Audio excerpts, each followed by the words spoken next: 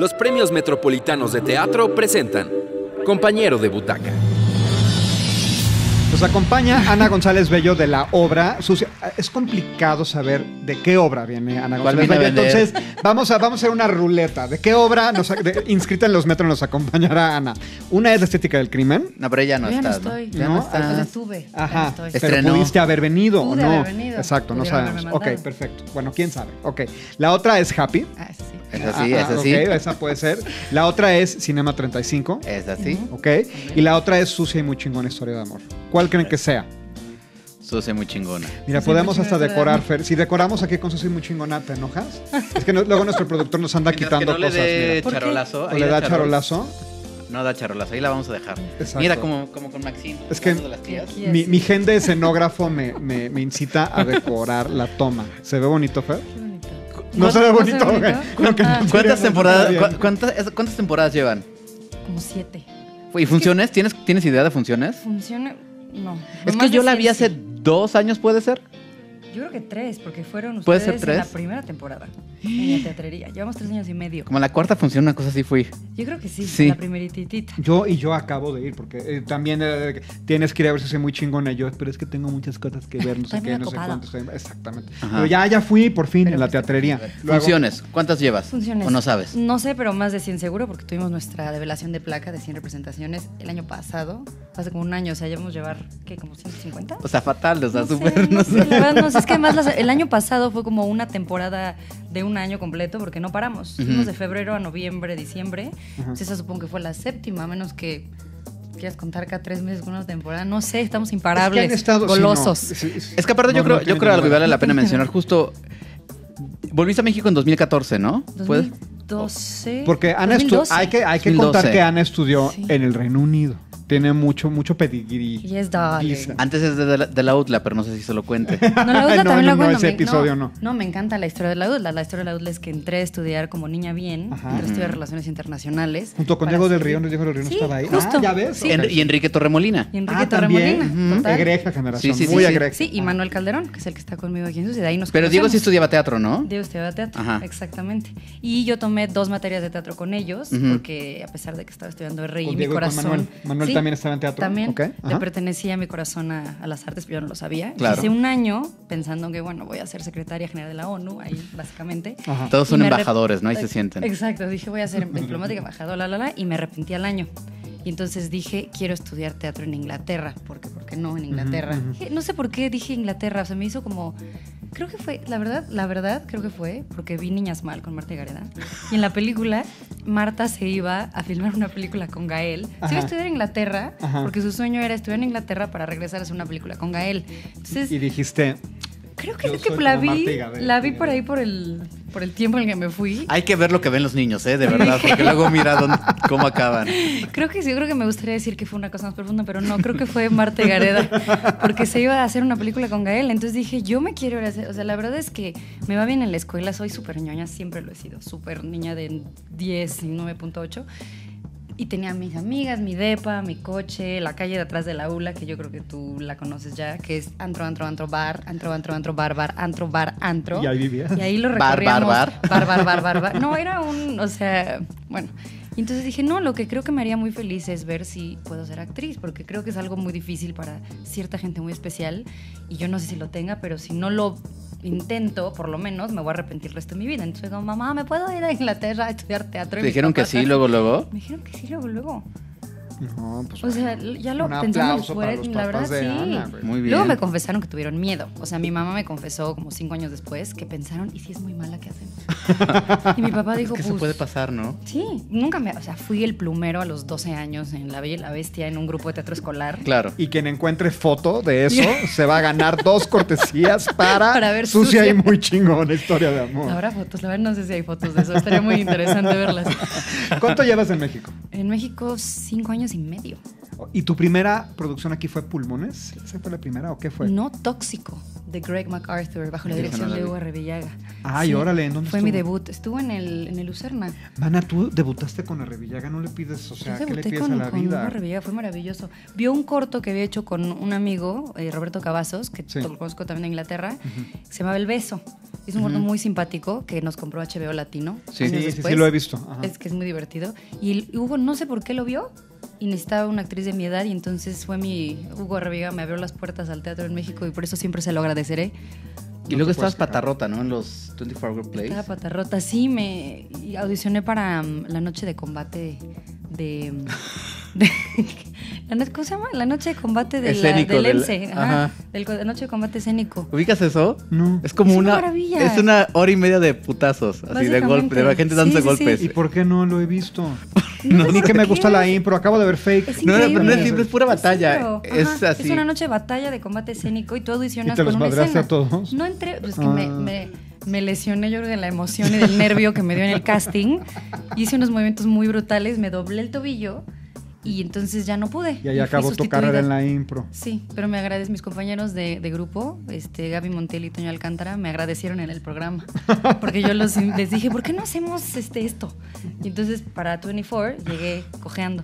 Muy. Ah, chale. Sí, así fue. ¿Cómo llegaste a Sucia y muy chingona historia? Pues yo vi esta obra, la original, Dirty Great Love Story, de Katie Bonar y Richard Marsh, en Edimburgo en 2012. Ok. Fui al festival porque mi amiga estaba Ajá. estudiando biología en universidad en Edimburgo. y la fui a ver, estaba el festival, y fuimos y la vi, me, me dio mucha risa, me encantó, les fue súper bien a ellos, y lo olvidé. Y luego regresé a México, me deportaron sutilmente, me Ya. cambiaron la visa, este, los conservadores. Así de policía y toda la cosa. No, no, de policía, cosa, no. No, nos de deportaron a muchísima me- gente las Ya mero te vas, ya mero te vas, ya mero te vas, ¿no? Así que- No, de un día para otro fue, cambió. Ya no pueden quedarse. Todos los que llevan aquí 5, 6 años, 10, que tenían ciertas visas, se van. Entonces ahí vamos todos de regreso. Este, los artistas, o sea, la gente que hacía como medicina e ingenierías, los dejaron. La Esos- gente, la gente no. que, hace cosas, que hacía cosas reales a los ojos de los conservadores sirve de algo. Entonces regresé y yo creo que como todos los que estudiamos teatro, creemos que nos van a descubrir o que vamos a bajarnos del avión, salir de la escuela con nuestros esas cosas y nuestros diplomas y va a estar ahí Birrete, mana, birrete. Nuestras mo- iba yo a Esas decir, cosas decías. sí, la esas cosa cosas birrete. esas y que te iban a agarrar billetazos y Y no. que van a decir, ex- así como ya, alfombra roja, cuarón, ven, protagónico. Obviamente no. No. O sea, la mayoría, no sé, esto me lo dijeron en la escuela, la mayoría de ustedes se van a tardar dos años para tener su primer trabajo profesional. Y todos así como de... "Ah". Siempre, todos, como, güey, yo soy chingón. Yo voy a salir aquí, aquí, de aquí directo, o sea, Tom Hardy y yo, protagónicos. Obvio no, Dame peló. Entonces, primero estuve un año y medio, creo, en el desempleo, llevando mi material a todas las castineras. Y pues obviamente no, o sea, nadie te pela. La verdad es que, pues, ¿Y hay cuál que tu big hacérselo. break? O sea, ¿cómo? Pues justo me reuní con, con Roberto y con Manuel por separado, que los conocía yo. Roberto se mudó para acá Ajá. y a Manuel, o sea, reconecté con él y con Aldo Escalante, que también es mi amigo de la vida. Son mis amiguitos de teatro. Adri Llabres también es mi cueta de Ujú. la primaria. Como para ver qué onda, qué, qué se hace. Y dijimos, pues hay que hacer algo porque estamos desempleados todos y nadie nos pela. Entonces, con Manuel queríamos hacer, él quería hacer una comedia. Y le dije, yo vi una hace unos años, a ver qué te parece. Se la di, la leyó, le dio mucha risa. Y Roberto encontró pulmones. Ujú. O sea, al mismo tiempo empezamos como a ver derechos, traducir. Y pues nada, pasamos ocho meses en mi sala. Ensayando. Este, no, traduciendo, y adaptando. porque es, es que lo- no se siente como una obra extranjera. Eso a mí No. lo que me, me llamó la atención es que está completamente Adaptadísima. adaptada. Sí, por eso fueron ocho meses de adaptación, porque la historia original está muy bien, pero está muy inglesa. O sea, en algún Claro. punto el gran conflicto es que él le lleva croissants, el exnovio le lleva croissants a la chica y el otro los ve y fue como, no, le llevó croissants. Me voy. ¿Y aquí qué le lleva? Nada. No, le quitamos todo eso. O sea, aquí. Ah, o sea, bueno. Pensé aquí- que le iba a llevar carnitas No, los domingos, güey. Yo dije, ¿qué se les habrá ocurrido? No, No, es ah, no, lo quitaron. Ah, muy bien. Pues es cuando, Dura o una sea, hora menos, gracias. Llega Excelente con su desayuno, pero los ve juntos. Ah, ok. Y entonces se vuelve otra cosa. Entonces le metimos cosas de nuestra vida. Por el entonces Manuel sufría por su actual novia que no lo pelaba. Ajá. Y yo sufría porque mi exnovio me había cortado. Bueno, me aplicó la de, le apliqué la de, pues si no te gusta igual deberíamos cortar. Me dijo, va. Y yo. Me aplicaron esa por Skype. ¿De Ah, verdad? sí, sí, por, ¿Por Skype. Skype, además? Bueno, una pelea tonta que terminó en un, pues yo no te veo tan comprometido, ¿eh? Igual y lo que deberíamos es cortar, esperando que me dijera, no, mi vida. Ajá. Pues va. que bueno, la verdad estuvo bien, porque no teníamos nada que hacer juntos, la verdad. Pero entonces yo me había metido a combate escénico y me había metido a estudiar portugués para alejarme del alcohol, del corazón roto. Y entonces ves que, bueno, la viste, el personaje de Fabiana no existe tampoco. La brasileña fue porque yo dije, quiero hablar portugués en esta obra. Lo estoy estudiando y nunca lo voy a usar porque no conozco a nadie que hable portugués. Ajá. ¿Y si lo metemos? Y lo metimos. Oye, ¿y esta Así. pobre de Katie Bona sabe de todo ese tipo de cambios? No. ¿O más bien editamos este programa No, para sí que lo no se saben. sepa? Sí, lo saben. Digo, la, o sea, la idea, la historia, pues es de ellos. La Ok. estructura es los personajes. O sea, dos actores haciendo varios personajes. Es suyo. Lo que hicimos fue nada más. Era originalmente inglesa, la nueva Ajá. novia. Pero nosotros dijimos, ¿qué, le da- ¿qué te daría mucho coraje? Que tu exnovio llegara con quién? Una brasileña. Guapísima. Que además sea buena onda. Y además así le interesen los derechos animales y haya estudiado. El y sea un mejor ser humano del mundo. Ah, o sea, y ese tipo de cositas, o sea, como que le y lo hicimos pues muy mexicano, el lenguaje y las groserías y los este pues sí, los chistes, las situaciones las hicimos más para que la gente dijera, "Ah, yo he estado ahí ¿En dónde estrenaron esta obra? en la teatrería. O- ah, o sea que volvieron, ahora están en casa. Estamos en casa. ¿Porque en dónde más la han hecho? No- no Estuvimos en. Céntrica, un rato, Ajá. y en un teatro en Las Lomas también.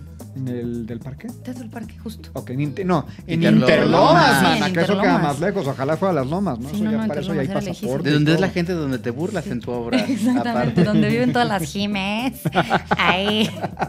Pero con cariño, nos burlamos con cariño de todos. Sí, todo con mucho todos, cariño, a sí, no se vayan ofender. También. Y ahora, ¿cómo llegaste a manos de Jimena Saltil en 1111? La, vi- la fueron a ver, pero no sé, ya no me acuerdo bien por qué. O sea, Es tú la montaste, tú la montaste con Manuel así a las de Así yo voy a ser productora, yo Mamá, aquí préstame rento el 20 mil pesos, teatro". por favor. Así. Así. Así tú pides 25, ven- entre 20 y 25 de tus papás, yo pido entre 20 y 25 a ver cuánto nos dan. Vamos a la Y ahí, y teatrería. Aida del Río dirige. Y ajá, ahí de luego ¿Cómo, Manuel. cómo, cómo, empezamos Manuel y yo. ¿Que quién es Aida del Río, para empezar? Es una actriz y directora hermana de Diego, que también ha hecho. Ajá. Ha Sí, hecho que además también, como también es actriz, fue Sí. perfecto. En algún momento fue como, ay, pues. No, pues Y también. de, y de- y de Puebla, Utla, o sea, venían de... Se Manuel y Aida se conocen desde la prepa, creo. Y Manuel me dijo, oye, porque habíamos pensado que nos la autodirigimos, nosotros auto Ajá. hacemos todo porque no tenemos a nadie no, a no, no, nada. no, nunca es buena idea. Y entonces fue como, chavo, no, mejor hay que traer a alguien que, que le entre. Y Aida le entró, y luego entró Iván Sotelo, y nosotros cuatro empezamos a hacer todo, todos, con el dinero de nuestros papás. Y la teatrería es maravillosa, porque también la teatrería estaba empezando. Tenían el último teatro del mundo, era su primer montaje, Sí. y estaban muy abiertos a gente nueva. Entonces les llevamos la carpeta. Y abrieron la temporada entre semana, yo creo. Sí, en Ajá. miércoles, creo, Ajá. o en lunes, sí, exacto. Pero literal, no habían ni leído el guion porque no lo habíamos acabado. Nos reunimos con Oscar y con Rich y con Alonso. No me acuerdo si José estaba, pero literal, así, nosotros de un lado y ellos del otro. Dijeron, oigan, su proyecto se ve muy padre. Y pues nosotros también queremos traer gente joven, nueva y muy llena de ganas. Cuando Y sin quieren mucha estrenar- escenografía, Y sin porque mucha está el último teatro del mundo, o sea, que no se pasa. No, los técnicos los Ok. han de haber Exacto. amado, de, Sí, qui- de exacto. quitar el último trato del mundo para poner el. Dos baúles. Dos baúles. Exactamente. Exacto. No, unas lamparitas de papel Y muy unas lamparitas de papel muy bonitas Sí, también. Oye. ¿cuándo ubicas que esto iba a ser el putazo que ha resultado ser? Porque sí, la primera temporada fue una cosa así. Sí, sí, sí, pues yo creo que hasta- Sold out, sold out, sold out. Como hasta el tercer sold out, yo creo, porque además, digo, a mí me encanta que me digan que no y me encanta que me digan que no puedo, porque entonces cuando pruebo que sí, me siento el doble como de como de Envalentonas. in your face, exacto, ¿no? Entonces, y sí, como película, la verdad estoy muy cagado porque la gente nos fue a ver un poquito por morbo, porque a ver, ¿quiénes son? Para empezar, ¿no? ¿Quién, ¿Cómo se llaman? ¿Quiénes son? ¿Quién, quién, qué? Un, un, este, no, ¿qué? un reportero nos dijo el día de nuestra conferencia de prensa, a la que fueron cuatro personas, nos dijo, y cito, ¿y quiénes son ustedes? O sea, ¿por qué creen que la gente los va a venir a ver? O sea, ¿qué, qué tienen que ofrecer? ¿Qué carrera tienen? ¿Quiénes son? Y nosotros... Uno no le hace responder hacia uno mismo. exacto, exacto. Es como la lágrima así. Y no, fue como, pues, porque tenemos una obra que, o sea, esto está súper cursi, pero es una obra que está llena de amor, que está muy bien hecha, que le echamos todo lo que somos, sangre, sudor, lágrimas, dinero a nuestros papás, Oye. y creemos que a la gente le va a gustar. Y no, o sea, el día del estreno, yo- yo o sea, dos segundos antes de entrar, agarré a Manuel así y le hice, no me acuerdo qué sigue, cómo empieza. Tuve un pequeño breakdown y él me agarró y me dijo, relájate un chingo, respira, entramos y triunfamos. Y entonces empezamos a llenar. Y no lo sí, sí, sí. O sea, yo cuando fui estaba, fue la primera función de temporada, estaba hasta su madre ya, de público pagado, porque no, o sea, no fui al estreno, fui hacia la segunda función ya pagada. Es, es un super hit, es un caballito de batalla. Para ti y para Manuel, que me imagino que son los coproductores junto con Jimena, o cuál es el... Sí, o, o- tenemos- o ya se lo soltaste así, Jimena, de no, tú ya ve todo. Sí, este más, más asunto". o menos. O sea, Jime y, y Pau creo que fueron como a la cuarta o quinta función Ajá. y luego nos reunimos con ellas y fue como, ¿por qué? O sea, ellas nos dijeron, tienen un, o sea, una cosa increíble, déjenos que le entremos a pues a profesionalizarla, ¿no? Básicamente, porque pues sí, estábamos muy Ajá. como en yo fui por mi propio vestuario y estábamos entre los dos haciendo todo y eso nunca Sí, está nunca es bueno. Nunca es bueno. Y entonces entraron y ya como que todos nosotros dejamos de preocuparnos por eso y ellas pusieron en su lugar todas las cositas que faltaban. Y sí entramos primero como coproducción, pero finalmente fue como Jimena sabe lo que hace, nosotros vamos a dejar que, pero pues finalmente somos pues los que iniciaron, entonces tenemos ahí nuestro lugar especial, pero las que producen son 11 11. Claro, porque Jimena eh, Saltiel, que es la productora de, eh, de esta empresa que se llama 1111, que han producido, por ejemplo, Emilia y su Robo Rojo, o ahorita acabamos de estrenar con- junto con Ana El Hilador, ¿no? Que, que, que estrenó una semana después de que del cierre de inscripciones de los metros, o sea que la veremos el año que entra por aquí, ¿no? Este, pero ya tienen muchísimas obras bajo el brazo, aunque me imagino que estaban empezando en ese También momento, estaban empezando. ¿no? También creo que para ellas este fue un proyecto que también las ayudó a, a seguirse posicionando como una casa productora de las Claro. buenas.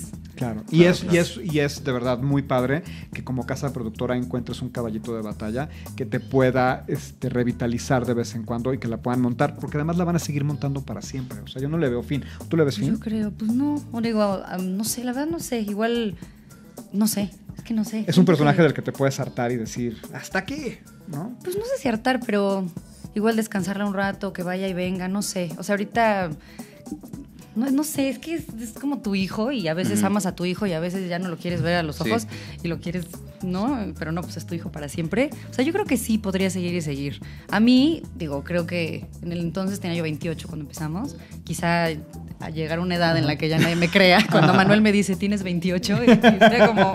Y el público No. risotada. de, Ajá, "Ja, ja, exacto. ja, Como, ja". "Ay, qué chistosos son en esta obra. O sea, pero no, pero la obra tiene para.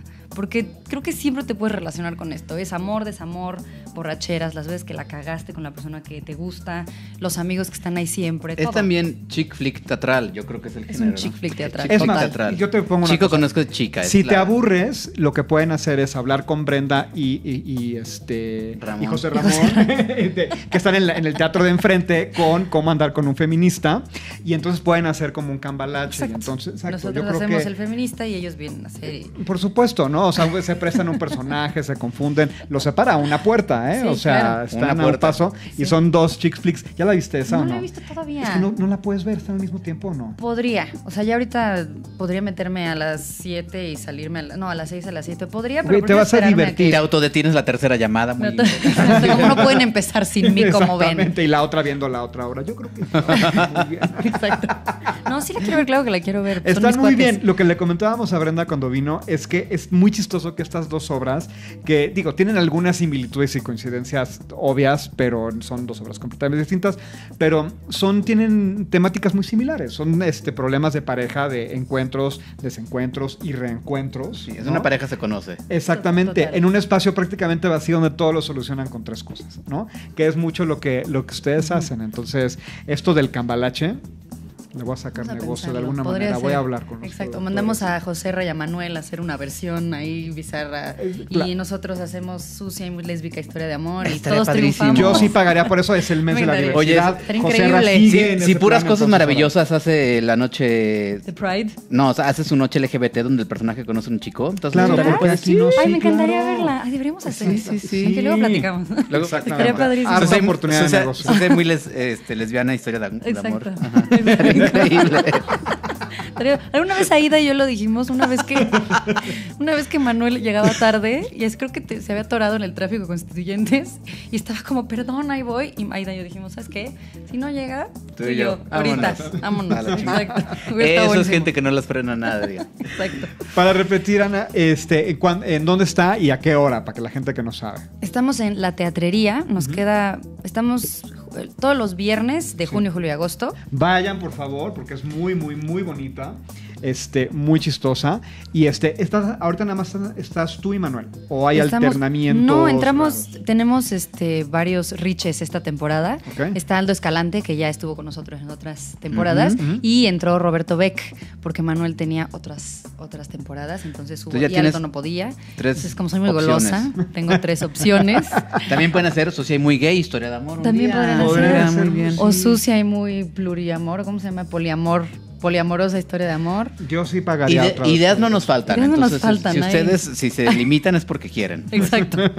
Pues muchas gracias, Ana, por venir a compañero de Butaca. No olviden suscribirse a las redes de los Metro, los Metro MX en todos lados. Y no olviden votar por Sucia y muy chingona historia de amor en la aplicación de los Metro disponible en iOS y Apple. Ya hicimos comercial con ustedes para promocionar la app. ¿no? Lo acabamos ¿Verdad? de hacer, no, Sí. sí, lo hicimos Ya- hace dos días. No, Ah, el ¿sí? viernes, el sábado. el Si no, ahorita te agarran y no te Si dejan ir no, hasta si no, que no te dejan ir hasta que no nos grabes un comercial para que voten por y muy chingona. Lo grabamos, nos tomó como siete tomas cada uno porque es que estamos como... eh, ya, ya, ya, ya. Perdón, corte. Eh, Perdón.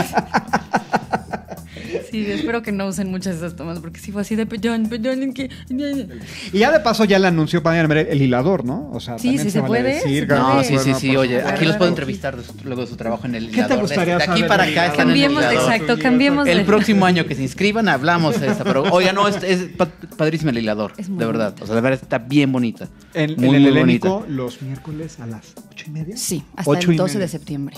Ok.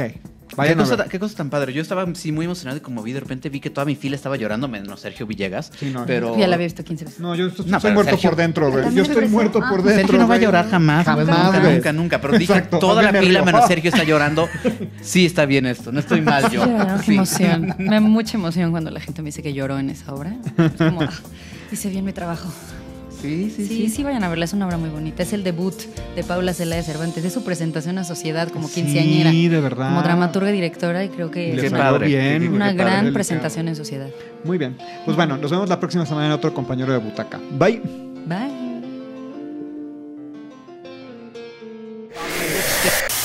Esto ha sido una producción de los Premios Metropolitanos de Teatro. Síguenos en nuestras redes sociales como Los Metro